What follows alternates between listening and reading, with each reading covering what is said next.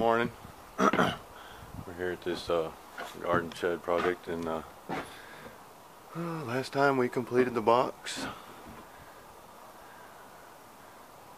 And then capped all the framing with the 2x4 all the way around. And then today we started sheathing the inside walls with half inch plywood.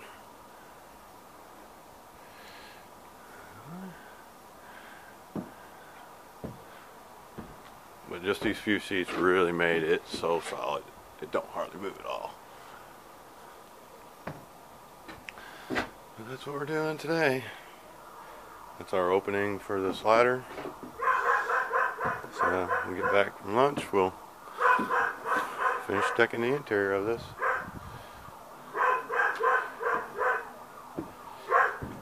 Alright. You were watching, and that's Pepper.